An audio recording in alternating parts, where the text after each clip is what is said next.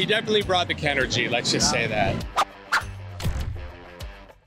We are here at the Australian premiere of The Fall Guy. So, it's lights, camera, action.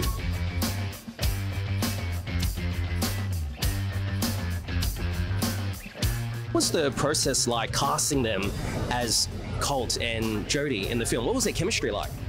Well, it was pretty immediate. You know, uh, we brought Ryan on to the movie uh, even before we had a script. You know, um, he came on and really helped us crack the tone and like set a direction for what we all wanted to do. So he's one of the key collaborators.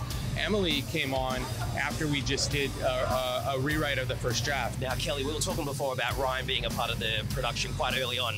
Did he bring the right amount of Kenergy to the film and, and the production? I truly think it's a great moment for him because I think Ken, Ken is actually a really hard thing to come out from under and still thrive. I mean, there are actors who would only be Ken for the rest of their lives if he weren't as amazing and versatile as Ryan Gosling. I think in Colt, he has somebody who he can, you know, sort of do also and and and has a resonance that's almost as strong as Ken's. Speaking of some of the stunts, I remember when the Sydney Harbour Bridge was shut down. Oh, sorry. No, it didn't affect me. I thought it was fantastic, but anywhere on early Sunday morning. Come on, you guys. Yeah, take a break, have a coffee. Yeah. We're only Have out a four hours. who makes that decision to close it down for a day? I'm not sure, but Philip Roop is was our location manager, and he holds the keys to the kingdom and maybe a lot of photos that nobody wants to have seen. What was one of the most ambitious stunts in the film that you got to accomplish? cars, high falls, fire. So we kind of we we hit the gambit. I don't think we, had, we didn't have any horses. No horses. had a- Yeah. What? Yep, maybe. Yeah. Oh, we have to watch the film to find out what that meant. And who's your favorite, Ryan or Emily?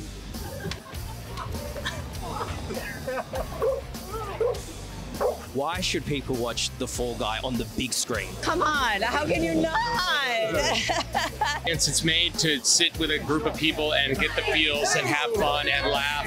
And um, every day on set, we really thought about what would the audience like, and that that includes spectacle, that includes like some romance, that includes comedy, and it's just best enjoyed with a, a group of people. Like I, it's made for the cinema, and that's was intended that way, and um, that's the movies we like to make. Well, that's a wrap. Be sure to check out The Fall Guy on the big screen at Hoyts from April 24th.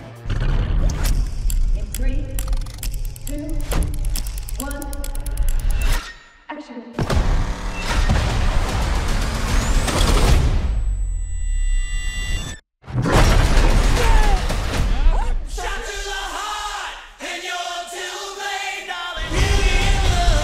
You fall down, you get right back up.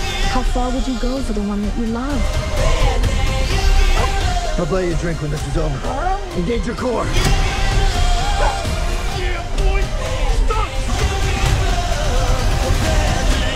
Let's do it later. Want to go to a beach somewhere? Drink a spicy margarita. Make some bad decisions. Yes.